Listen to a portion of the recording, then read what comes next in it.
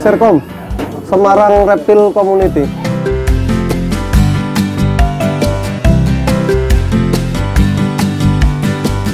Oh, ada ular, kura-kura juga sebenarnya ada, cuma di basecamp yang satunya. Terus ada iguana juga, ya macam-macam reptil lah intinya.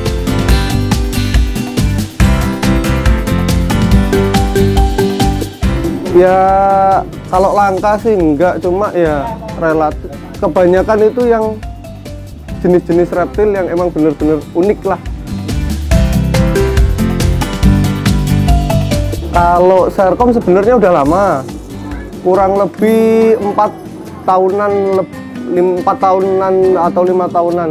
Cuma ini mulai dibentuk, didilkan jadi Serkom ini sekitar tiga tahun.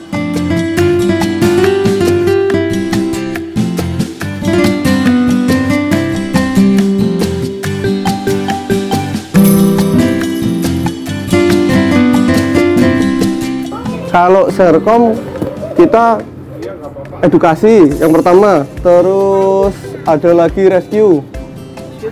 Rescue itu misal ada orang awam yang rumahnya kemasukan ular liar, nah nanti bisa hubungin kontak Serkom, kita langsung meluncur ke sana.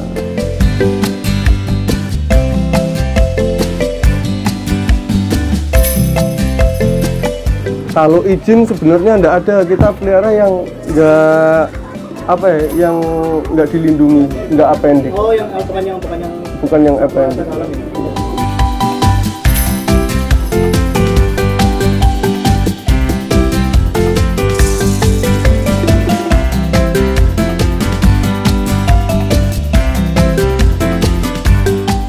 Gimana ya? Kalau sebenarnya ini gennya itu beda-beda sih mas. Kalau piton Jawa sendiri motifnya udah beda lagi.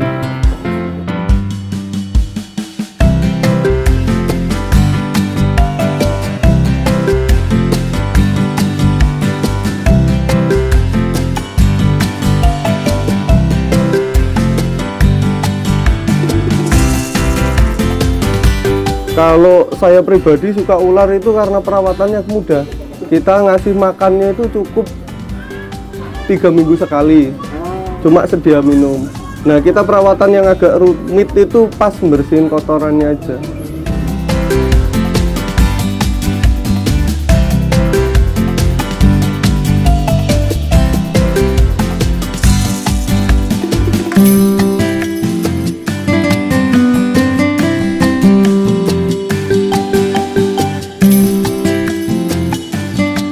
Pertama kita pengenalan jenis-jenis ular dulu, mana yang berbahaya, mana yang enggak. Jadi biar orang awam itu enggak trauma ketemu ular. Jadi ketemu ular langsung dibunuh, ketemu hewan yang aneh langsung dibunuh itu harapan kita ada di situ buat edukasi ya.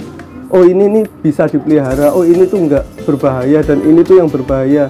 Nah di situ kita juga ngasih penanganan gimana caranya nanganin ular yang berbahaya.